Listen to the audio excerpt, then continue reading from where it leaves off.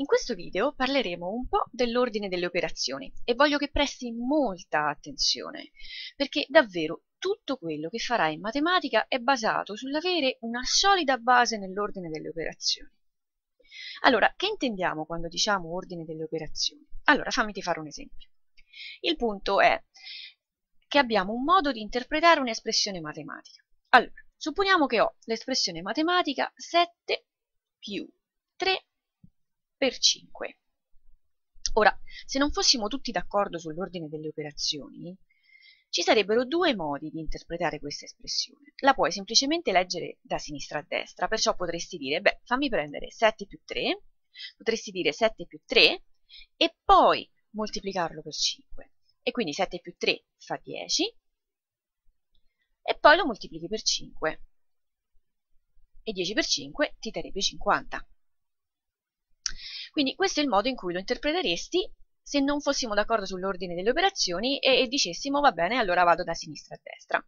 Però magari puoi dire, ah, ah, però a me piace fare la moltiplicazione prima di fare la somma. E quindi la potresti interpretare in un altro modo, potresti dire, faccio prima 3 per 5 e poi dopo gli sommo 7. E quindi diventerebbe 7 più il 3 per 5 che fa 15, quindi diventa 7 più 15 e il risultato farebbe 22. Quindi nota che abbiamo interpretato questa espressione in due modi diversi. Questa era semplicemente da sinistra a destra, facendo prima la somma quindi e poi la moltiplicazione. In questo modo invece abbiamo fatto prima la moltiplicazione e poi la somma. Abbiamo ottenuto due risposte diverse e questo non va bene in matematica. Se questo fosse parte di qualche tentativo di inviare qualcosa sulla Luna, se due persone la interpretassero in modo diverso, o un computer la interpretasse in un modo e un in un altro, eh, il satellite potrebbe finire su Marte. Quindi è del tutto inaccettabile ed è per questo che abbiamo un accordo su quale sia l'ordine delle operazioni. Ci siamo messi d'accordo sul modo di interpretare questa espressione. E quindi l'accordo raggiunto sull'ordine delle operazioni è quello di fare per prima cosa le parentesi. Fammelo scrivere qui. Parentesi. Questa è la prima cosa. Poi arrivano gli esponenti e se non sai cosa siano gli esponenti non ti stare a preoccupare perché tanto in questo video esponenti non ne avremo, quindi in realtà non serve che te ne preoccupi per il momento. Dopodiché fai la moltiplicazione, scrivo molto, e la divisione. Questi hanno lo stesso livello di priorità. Infine fai addizioni e sottrazioni. Allora, quindi qual è l'ordine delle operazioni? Allora, quindi questo è l'ordine delle operazioni ordine delle operazioni.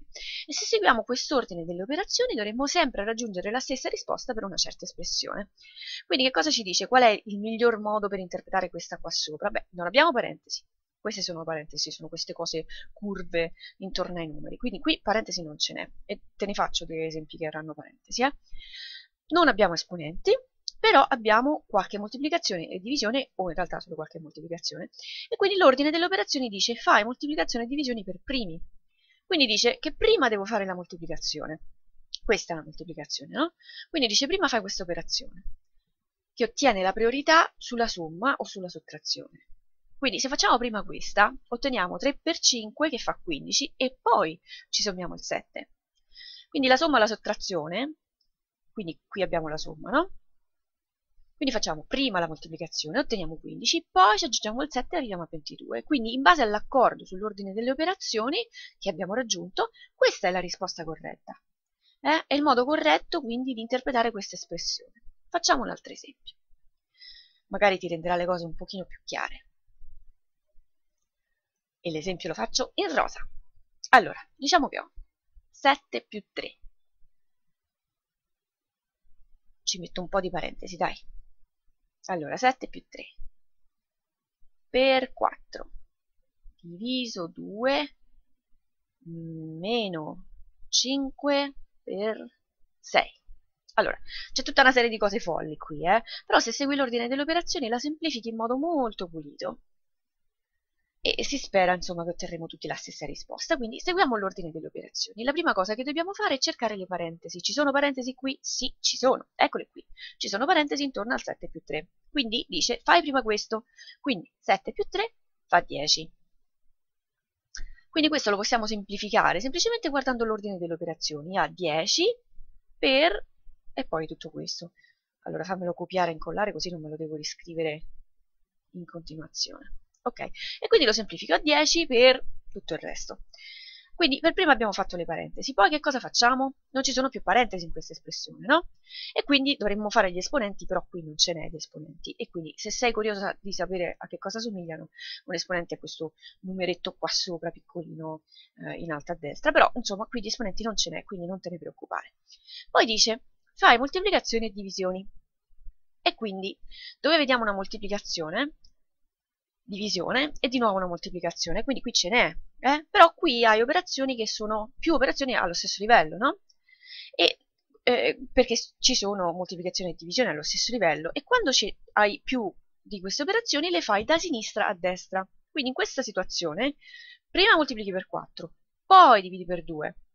Non è che moltiplichi per 4 diviso 2, il 5 per 6 lo potremmo anche fare separatamente perché sta, sta separato, diciamo, però facciamolo, facciamone uno per volta, dai. Quindi per prima cosa facciamo questa moltiplicazione, perché è quella che sta più a sinistra, va bene? Potremmo fare anche il 5 per 6, ma cominciamo col per 4, facciamo le cose un passo per volta. Quindi il passo successivo è questo 10 per 4. Quindi 10 per 4 fa 40. Dopodiché ho 40 diviso 2 meno 5 per 6 lo copio e lo incollo di nuovo eh?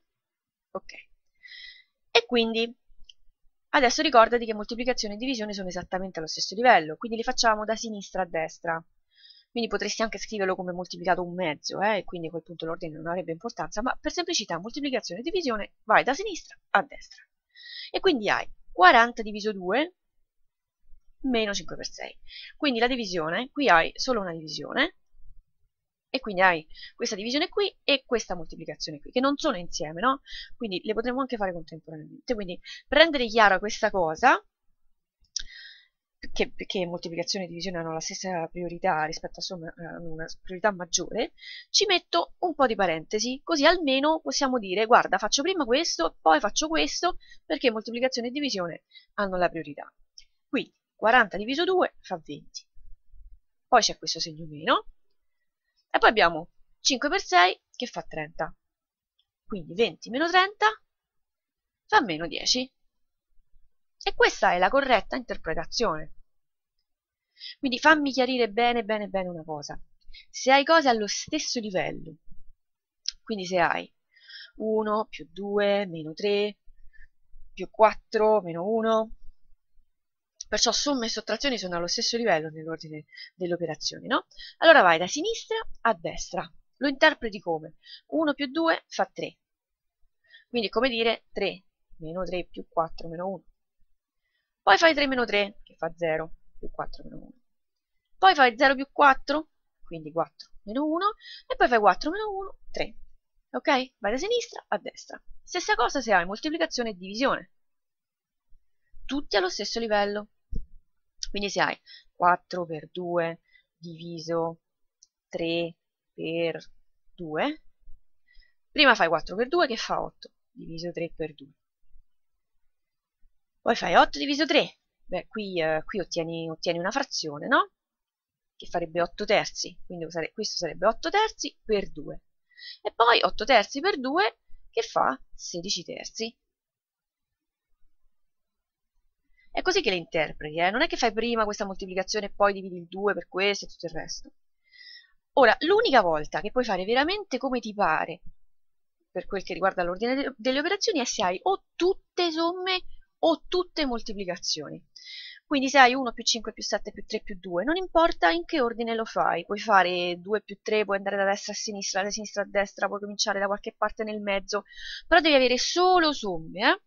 E lo stesso vale se hai solo moltiplicazioni, tutte moltiplicazioni, quindi se hai 1 per 5 per 7 per 3, eccetera, eccetera, non importa in che ordine lo fai, li puoi mischiare, va bene? Quindi questo vale solo o per tutte moltiplicazioni o per tutte somme, ok? Se c'è qualche divisione, qualche moltiplicazione così, meglio se li fai andando da sinistra a destra.